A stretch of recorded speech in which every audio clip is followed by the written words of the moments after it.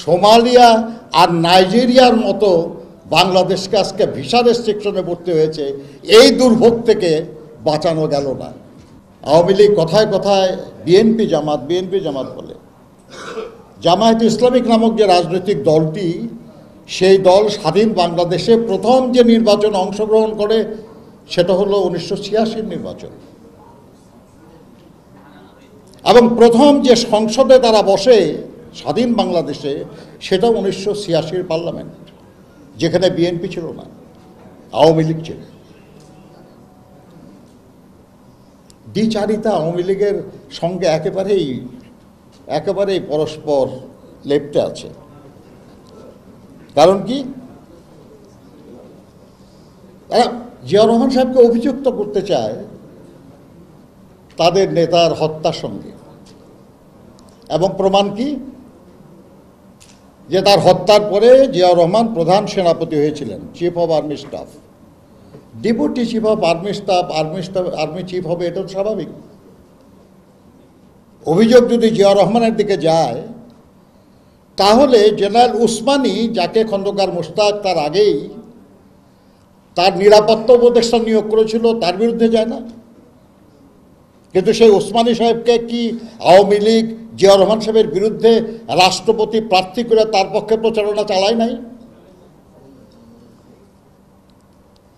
বাংলাদেশের ইতিহাসে একমাত্র একটা সময়ে Khondaker Mushtaq chief of defence staff নিয়োগ করেছিলেন জেনারেল খলিলুর রহমান সাহেবকে।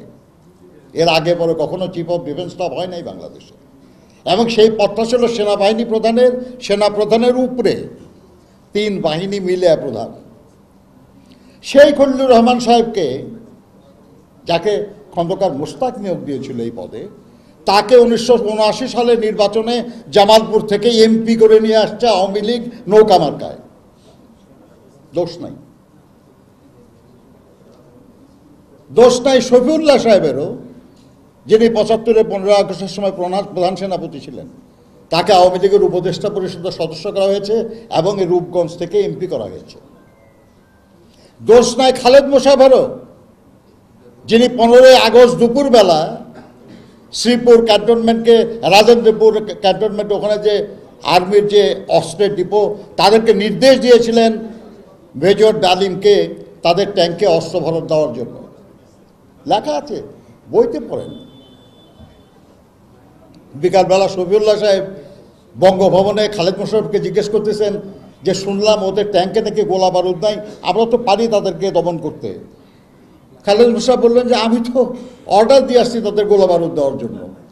শফিউল্লাহ সাহেব বলছে কেন? তুমি আগে এটা অর্ডার দিলে কেন? বললাম ওয়াই নট বললাম "না, আমাকে জিজ্ঞেস করলাম না আই ডোন্ট নিড টু আমি চিফ আমি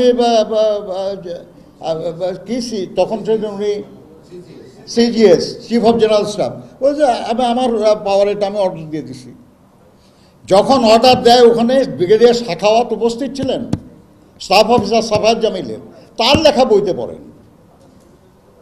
তার কোনো দোষ নাই। তার স্ত্রীকেও মহিলা এমপি বানায়, তার মেয়েকেও মহিলা এমপি বানায়। দোষ শুধু জিয়াউর রহমানের। কেন? অপরাধ একটা জিয়াউর রহমানের।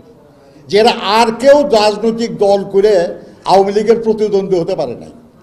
এরা আর কেউ তার শাসন আমলে আওয়ামী লীগের চেয়ে অনেক ভালো পারফর্ম করতে পারে নাই। যে আওয়ামী লীগের শাসন আমলে দুর্ভিক্ষে লাখো মানুষ জীবন দিয়েছে তার কয়েক বছরের মধ্যে জিয়াউর রহমান দেশে খাদ্য উৎপাদন বাড়িয়ে গিরিতে খাদ্য রপ্তানি করেছেন। যে আওয়ামী লীগের শাসন আমলে কলকারখানাগুলো সব বন্ধ হয়ে যাচ্ছিল, সেই দেশে জিয়াউর রহমান সাহেব আমাদের দেশ থেকে চিনি রপ্তানি করেছেন। এগুলো জিয়াউর রহমানের দোষ। যে পার্বত্য চট্টগ্রামে বিশৃঙ্খল সৃষ্টি সৃষ্টি হয়েছিল, জাতীয়তা নিয়ে সংকট সৃষ্টি হয়েছিল মানবেন্দ্র লার্মা সংবিধানের ড্রাফটে সাইন করতে রাজি হয় নাই, সেখানে তিনি শান্তি স্থাপন করার ব্যবস্থা করেছিলেন এবং আমাদের সুস্পষ্ট জাতীয়তা দিয়ে গেছেন বাংলাদেশি জাতীয়তাবাদ। তিনি একটা রাজনৈতিক দল গঠন করে দিয়ে গেছেন, তার যে আদর্শ, তার যে কর্মসূচি, তার যে চিন্তা, সেটা আওয়ামী লীগের মতো ডাবল বয়সে একটা রাজনৈতিক দলকে প্রতিদ্বন্দ্বিতা করে বারবার নির্বাচনে বিজয়ী হয়েছে। এই হলো অপরাধ জিয়া রহমানের।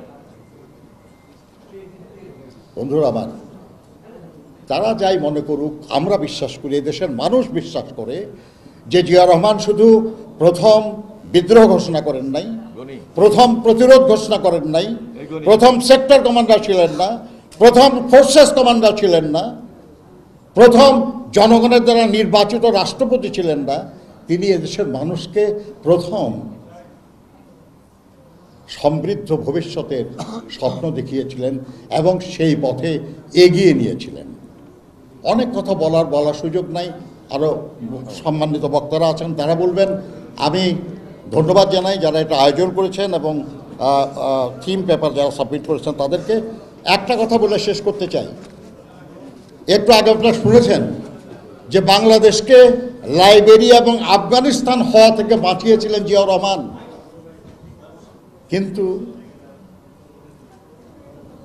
সোমালিয়া আর নাইজেরিয়ার মতো বাংলাদেশকে আজকে ভিসা রেস্ট্রিকশনে পড়তে হয়েছে, এই দুর্ভোগ থেকে বাঁচানো গেল না। যদি গণতন্ত্র থাকতো, বেগম খালেদা জি আজকে দায়িত্বে থাকতেন, বাঁচাতে পারতেন, তিনিও জিয়া রহমান যেমন বাঁচিয়েছিলেন উনিশশো পঁচাত্তর সালে। আপনাদেরকে অনেক ধন্যবাদ। আসসালামু আলাইকুম।